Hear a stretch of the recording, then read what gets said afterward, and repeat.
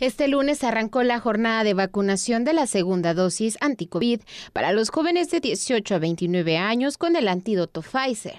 Desde la tarde del día domingo, cientos de jóvenes se dieron cita en las inmediaciones de los tres módulos de inmunización para obtener su esquema completo de vacunación. Los jóvenes señalaron que tuvieron que soportar las inclemencias del tiempo y muchas horas. Sin embargo, ya se encuentran más tranquilos al haber sido vacunados.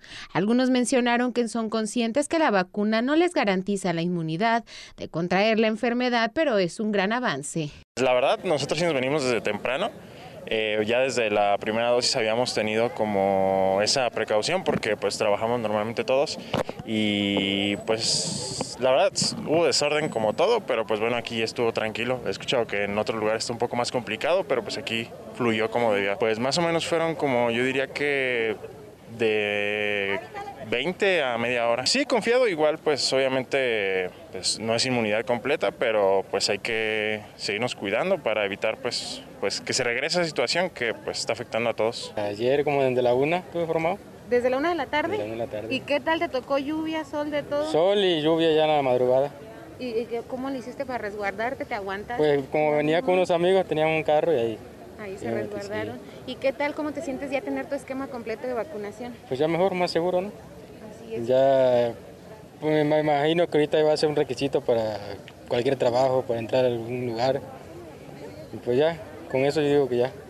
Por otro lado, algunos jóvenes externaron que no confían al 100% en la efectividad de la vacuna, pero como acto de responsabilidad acudieron a este ejercicio sanitario. La logística, pues yo creo que está bien, nada más que la, gente no sé por qué viene a formarse desde ayer en la tarde. Nosotros venimos porque no podemos los demás días, pero no creo que la gente no pueda los demás días.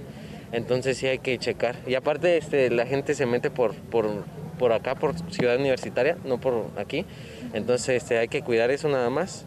Todo, todo lo más está, está bien. Pues este, a, mí me daba igual vacunarme este, porque no, no sabemos la efectividad y aparte eh, no sabemos cuántos años este, va a durar.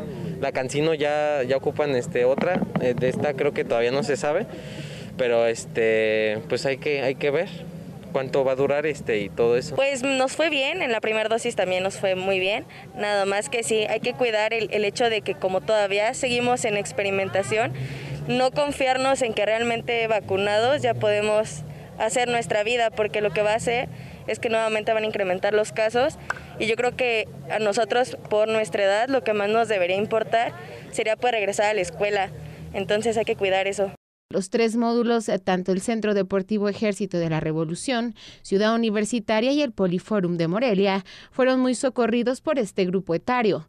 De acuerdo a la Delegación del Bienestar, la jornada se realizará hasta el día jueves 30 de septiembre. Jesús Tapia en las imágenes, Amirani Gutiérrez, Noti 13.